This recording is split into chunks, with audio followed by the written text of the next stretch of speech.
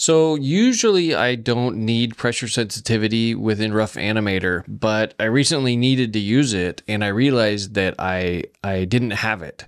And I actually have Rough Animator on two computers and I think the default settings uh, weren't working. So let me just show you. I'm in the current uh, version 3.23 version of Rough Animator. And I think I figured out the problem, but I was having the problem on two different machines and uh, they're both running XP-Pen uh, different sizes, but um, so maybe it's an XP-Pen issue. But basically, you know, if I grab the brush pen and I try and make some lines, it, it doesn't matter how uh, hard or, or soft I press on the screen. I get no pressure sensitivity, even though I've got pressure sensitivity on. And if I uncheck it, you know, then the, the brush, because I've got my brush size up really high right now, 208. If I turn it back on, you know, all it does is, is gives me that one thickness. So here's what I think I figured out is you go into settings and you've got these two brush sizes right here. And this setting is about where uh, both of my machines were set at. So I think it's by default. Like I don't think I did this um, but maybe I did. I don't remember.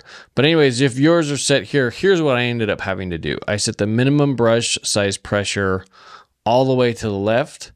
And then I put the minimum brush flow pressure all the way to the right. And then I hit done. And now when I go to make a line, I can get that thick to thin that I want. Now it's not um, as thick as I as I want, so I'm going to go even higher on the brush size and that helps a little bit. Um, but right now it's showing uh, the maximum brush size is 300 and that's about what 300 is. And this is a, a 1920 by 1080 canvas. If you want let me double that up. Let me try type in 600 and it doesn't let me. So but at least i'm getting my thicks and thins uh, on my drawings here. But I, I do have to go really high on that brush size. But i had to change these settings here uh, you know, to the extremes on each on each end of this to make this to work for me. And you know, if I set if I mess you can mess around with these and and see what you like, but you know, this I don't want that transparent look and that's what the uh, minimum brush flow pressure does. So I want that all the way up. I want solid black lines.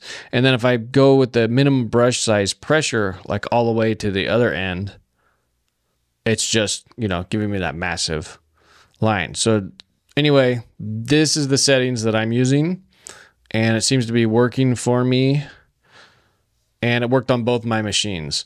So hopefully uh, that's a good tip for you if you're having trouble with your pressure sensitivity with Rough Animator and your drawing tablet. If you want to learn more about animation, consider subscribing to my channel. And don't forget to check out expatanimator.com. That's it for today. Now go animate something.